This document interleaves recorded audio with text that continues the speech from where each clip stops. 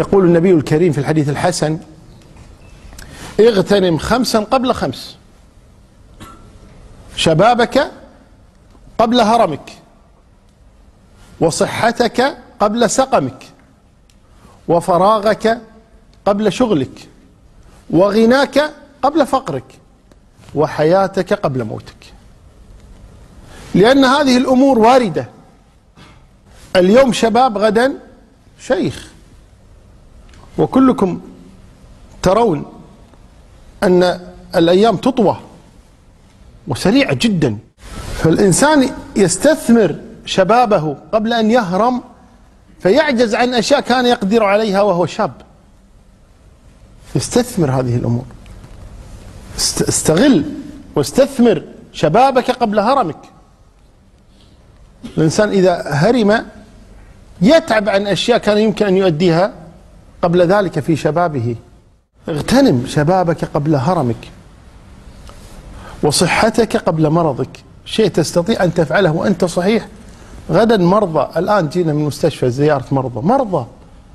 اذهب إلى المستشفى شوف المرضى. في كبرك وفي أصغر منك وفي أكبر منك. وقد يكون بعضكم أيضا نوم في المستشفى أياما أو ليالي أو أكثر من ذلك. فالإنسان يكون اليوم صحيح اليوم صحيحا لا ليس بالضرر يكون غدا كذلك. فطالما أنك صحيح اغتنم.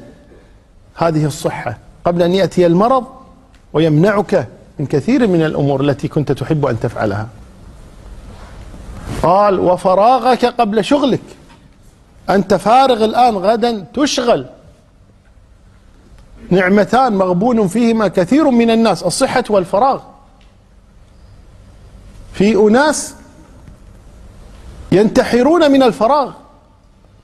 ينتحر من الفراغ. ما عندي شيء أسويه مللت ما في شيء. وفي ناس تبحث عن اللحظة عن الدقيقة. أحد علماء مثل جمال الدين القاسمي مر على جماعة يلعبون الطاولة في الشام في العصر. كل يوم هذا عملهم. يجلسون من العصر الليل يلعبون هذه الطاولة.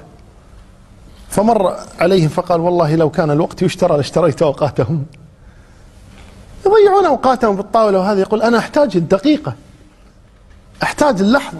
وهؤلاء يضيع كل يوم خمس ست ساعات يقول تضيع هكذا. اغتنم. فراغك قبل شغلك. واغتنم. غناك قبل فقرك. اليوم غني تصدق. ابذل. آه تقرب. إلى الله تبارك وتعالى. غدا قد لا تملك. اليوم تملك. ليس بالضرورة أن غدا تملك. فاغتنم غناك قبل فقرك. ابذل.